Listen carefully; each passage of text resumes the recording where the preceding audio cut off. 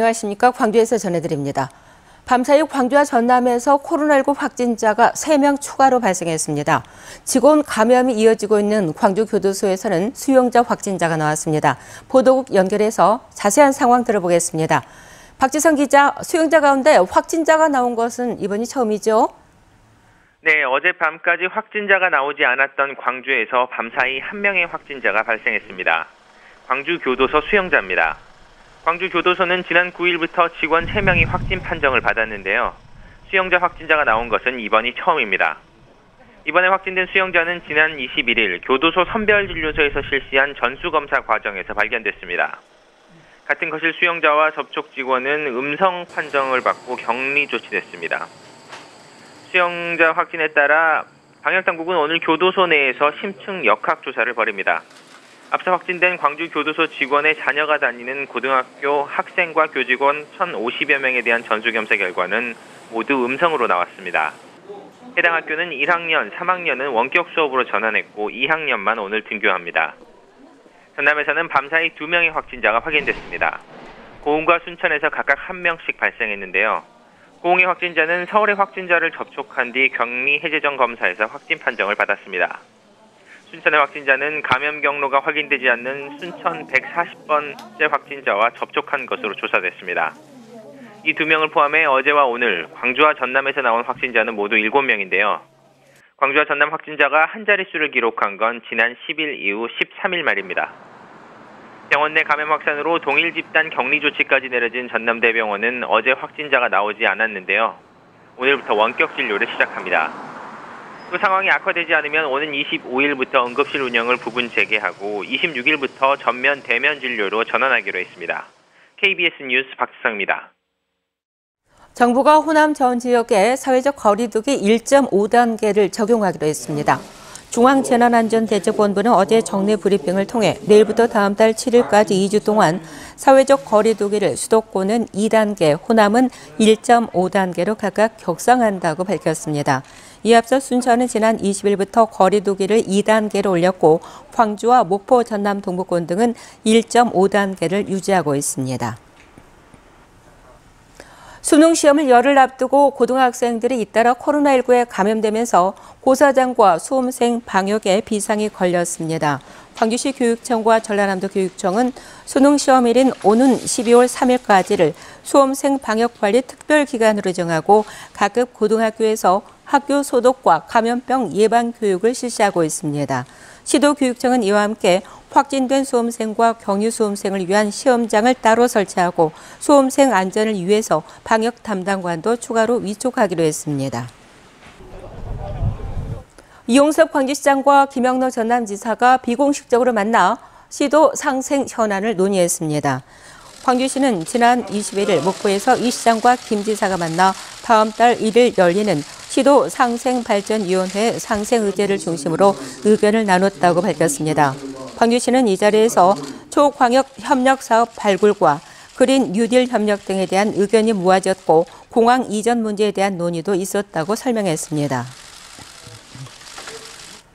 제외 공관은 물론 규황청까지 세계로 뻗어나가고 있는 전주 전통 안지가 이번에는 조선 4대 궁궐과 종묘 등 조선 왕조의 문화재에 입성합니다. 전통 한지 판로 확보에 큰 도움이 기대됩니다. 네트워크 소식 전주방송 전국 이종환 기자입니다.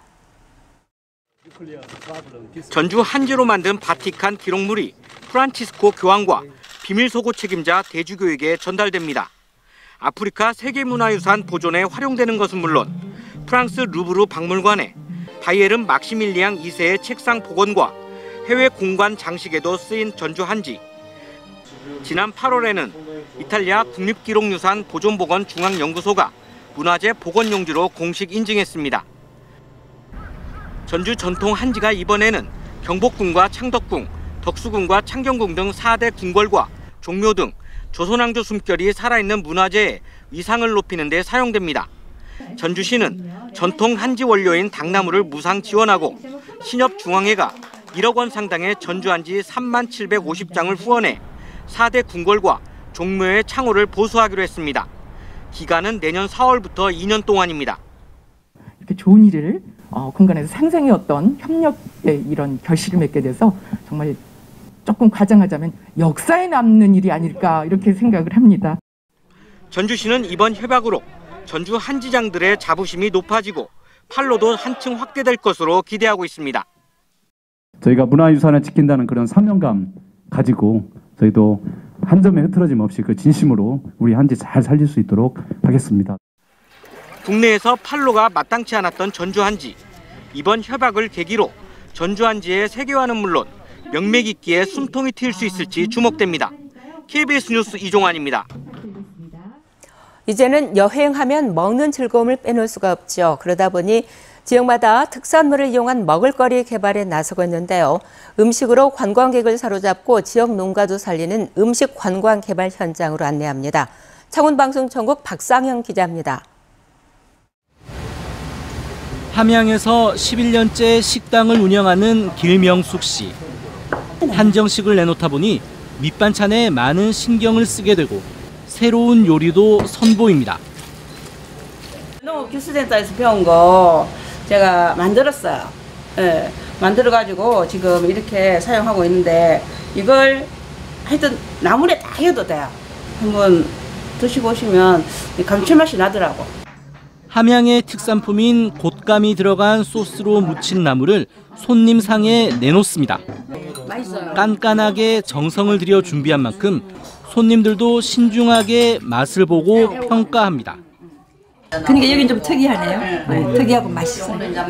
함양군에서는 관광객들에게 차별화된 음식과 함양만의 매력을 전하기 위해 향토 음식 메뉴를 개발하고 있습니다. 지금은 그동안 굽거나 삶기만 했던 함양 흑돼지를 이용해 강정 요리를 배우는 시간입니다. 냄새가 안 나요. 네, 강하기 때문에 전혀 냄새가 안 나고 맛있어요. 하여튼 맛있어요. 그동안 혼자서는 어려웠던 요리 개발을 지역에 내로라 하는 식당 종사자들이 모여 하나씩 해내고 있습니다. 기존에 있는 메뉴에서 우리의 특산품을 조금씩 첨가를 하면서 그 메뉴가 조금 더 발전해 나가는 방향으로 좀 생각을 해주셨으면 좋을 것 같아요. 지역의 문화와 특색을 살리며 대중성까지 갖춘 다양한 향토 음식 개발로 경남의 먹거리 관광이 더욱 풍성해지길 기대합니다. KBS 뉴스 박상현입니다. 가을이 지고 겨울이 옴을 실감하는 요즘입니다. 오늘 아침 기온 어제보다 3에서 8도가량이나 낮아 춥습니다. 광주의 현재 기온 5.6도 가리키고 있고요. 바람이 약간 강하게 불어서 체감 온도는 4도대까지 떨어졌습니다. 낮 기온도 광주가 9도로 어제보다 조금 더 낮겠습니다. 낮 기온은 주 중반으로 갈수록 잠시 조금 오르겠지만 아침 추위는 더 심해지겠습니다. 내일과 모레 광주의 아침 기온 3도로 오늘보다 2, 3도가량 낮겠습니다. 갑자기 추워진 날씨에 감기 조심하셔야겠습니다. 오늘 대부분 지역은 대체로 맑겠지만 서해안 지역은 바람이 강하게 불고 구름이 다소 많이 끼겠습니다. 또 낮까지 북부 서해안을 중심으로는 산발적으로 빗방울이 떨어지는 곳들이 있겠습니다. 다음은 자세한 지역별 날씨입니다. 오늘 낮 기온 어제보다 1에서 3도가량 낮겠습니다. 광주와 화순 9도가 예상되고요. 여수 12도, 보성 10도에 머물겠습니다. 목포의 낮 최고 기온 9도, 강진과 완도 10도, 해남 9도가 예상되고요. 신안의 낮 최고 기온은 9도가 예상됩니다. 현재 서해남부 먼바다와 남해서부 서쪽 먼바다에는 풍랑주의보가 내려진 가운데 오늘 물결이 초고 4m까지 높게 일겠습니다. 주 후반에는 기온이 크게 떨어져서 초겨울 추위가 예상됩니다. 날씨였습니다. 주말을 이용해 광주에서 부동산 쇼핑을 하는 외지인들의 불법 거래 행위에 대한 단속이 강화됐습니다. 광주시는 외지인들이 주로 주말을 이용해서 광주 시 내 부동산을 집중 매수한다는 제보를 입수하고 주말인 그제와 어제도 외지인 불법 투기 단속을 벌였습니다. 광주시는 외지인들의 불법 투기가 적발되면 사법당국에 수사 의뢰할 계획입니다. 광주시는 지난 11일부터 자치구와 합동 단속반을 편성해서 남구 봉선동과 광산구 수안지구 등에서 부동산 불법 거래 단속을 벌여 실거래 위반 등 18건을 적발했습니다. 광주시가 봉선동 등 특정 지역에서 집값이 뛰는 현상을 막기 위해서 현재 자치구 단위인 투기 과열지구 지정을 동 단위로 할 수 있도록 규정을 바꿔달라고 국토교통부에 건의했습니다. 투기 과열지구는 주택법에 따라 국토교통부 장관 또는 시 도지사가 주택 투기 성행 우려가 있는 지역을 지정 공고합니다. 월요일 아침에 함께한 KBS 뉴스를 마칩니다. 감사합니다.